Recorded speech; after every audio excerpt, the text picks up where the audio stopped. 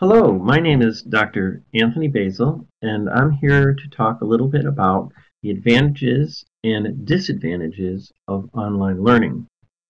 But I think what I'd like to do is see how I can shift the focus a little bit and say, what can we do to make the disadvantages actually improve our learning opportunities?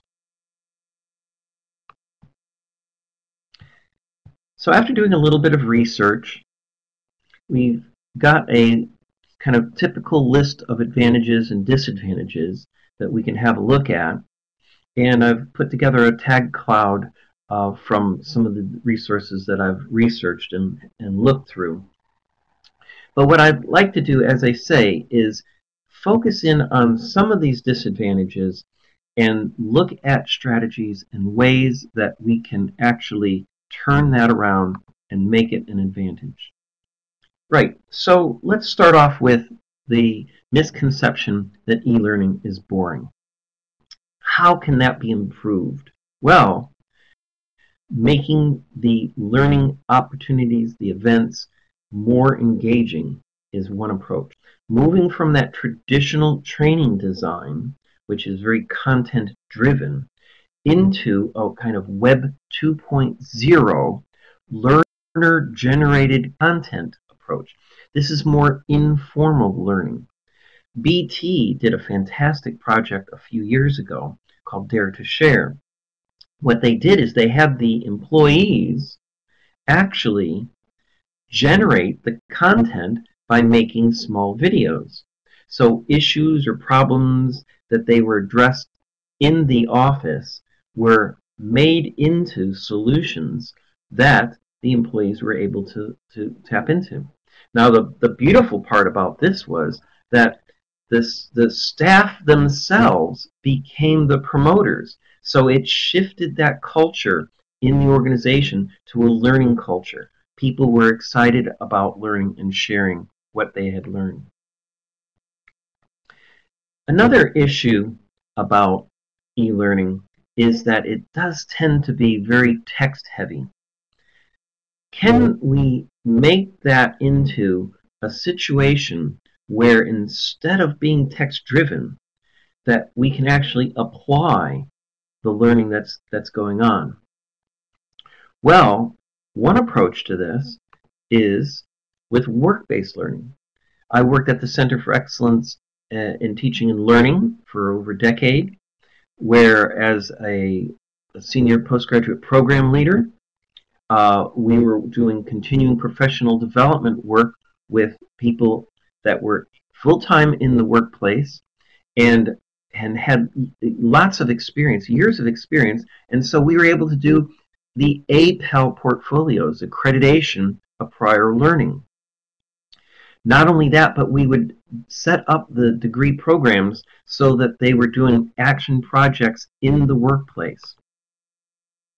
The nice thing about this is that we were able to expand the degrees, not only undergraduate, but to master's level and all the way up to doctorate level. So I've been supervising students in these projects uh, face to face and online using a blended approach and had fantastic results. So a, a big concern that e-learning people have is about isolation, that they feel uh, alone. How can we shift that into a social network learning model? Well, again, changing that pedagogy, changing that instructional design from that content-driven approach to a model where the learners can help generate the content, where there's a peer-to-peer support that takes a, a, lot of pressure off of the tutor. They're not just one-to-one -one contact of student to tutor. You're getting all of the stakeholders engaged. This requires, though, that you have very good induction resources. As an Adobe International Education leader, I have over a decade of experience in working with different software systems and platforms where uh, I can help us to design and develop resources that not only help the students, but the faculty and all of the stakeholders. Now, an important element then of this social network learning model would be tapping into our alumni. So with this approach, we're able to get the professional social network developed. There's this sense of kind of working in silos, working in isolation. We may be doing a lot of really exciting and good things, but people don't know about it.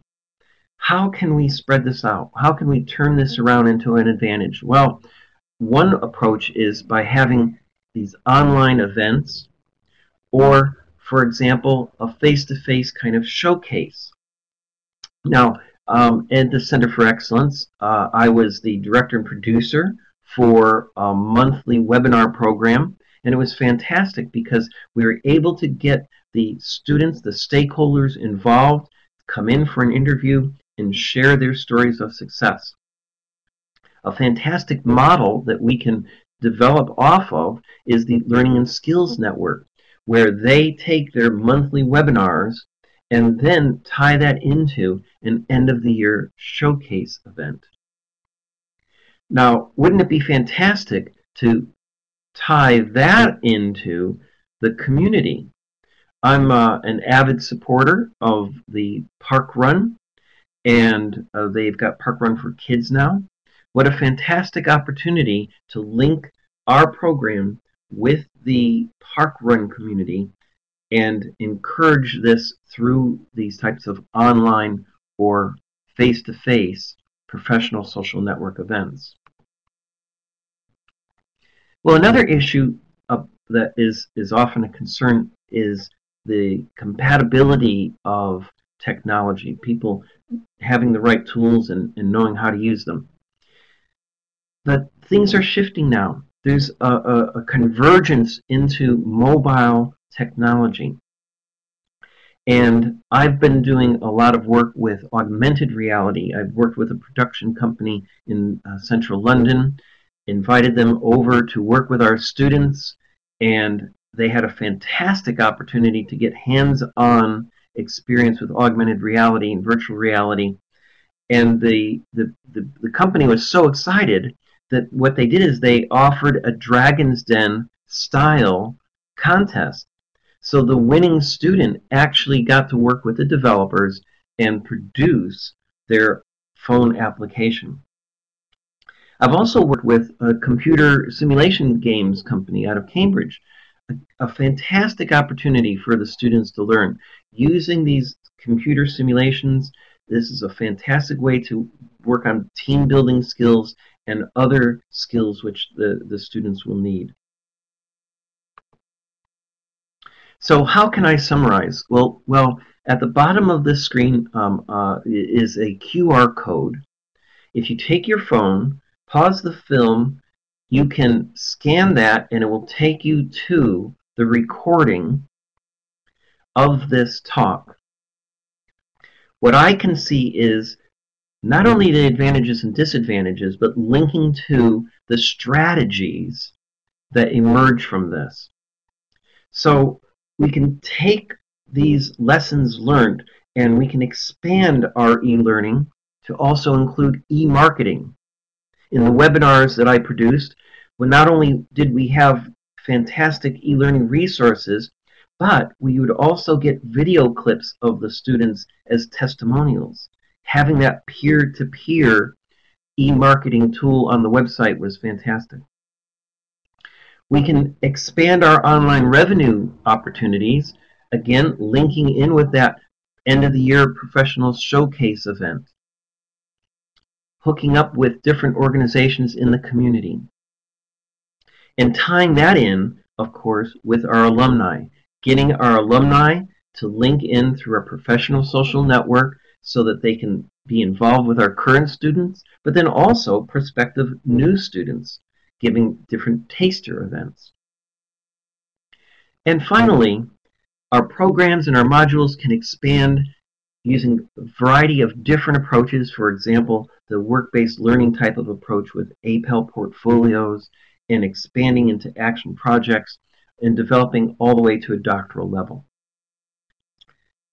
I hope you found this discussion interesting. And if you have any questions, please do email me and contact me. I'm happy to open up a dialogue. Thanks very much.